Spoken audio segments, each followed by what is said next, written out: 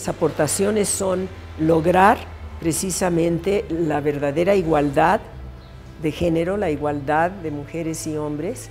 También eh, si nosotros con nuestros granitos de arena logramos propiciar que se erradique la violencia de género, creo que entonces habremos hecho una aportación muy importante.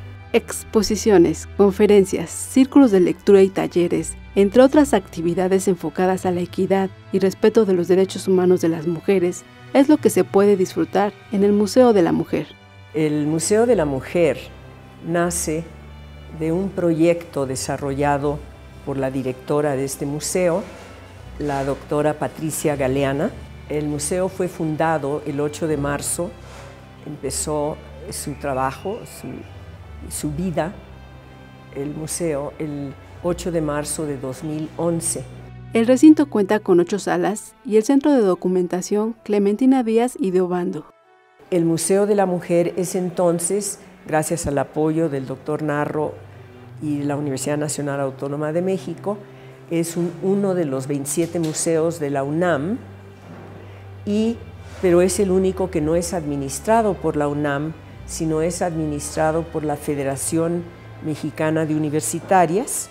Destacan figuras como Sor Juana Inés de la Cruz, Carmen Cerdán, Leona Vicario y Matilde Montoya, así como obras de Ángel Bolívar, Lenda Hescher y Sebastián, todas ellas articuladas en una narrativa interactiva.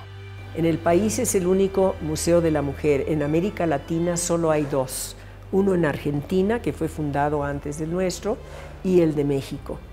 Y eh, hay eh, propuestas de grupos porque la Federación Mexicana de Universitarias tiene agrupaciones de mujeres universitarias en distintos estados de la República y hay en algunos lados donde ha surgido la idea de intentar hacer un museo de la mujer, lo cual nos tiene felices y queremos apoyar en todo lo que pudiéramos.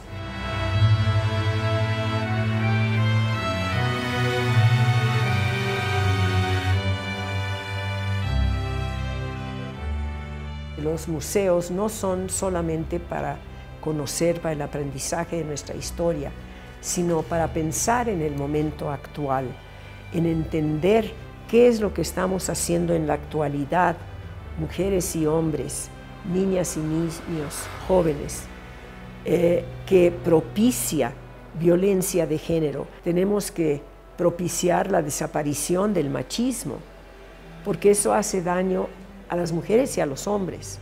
Eso hace daño a todos. Tenemos que entender que tenemos realmente los mismos derechos a todo, a la convivencia en paz, al estudio, al trabajo, que tenemos la posibilidad igual de desarrollarnos, de conocer, de saber.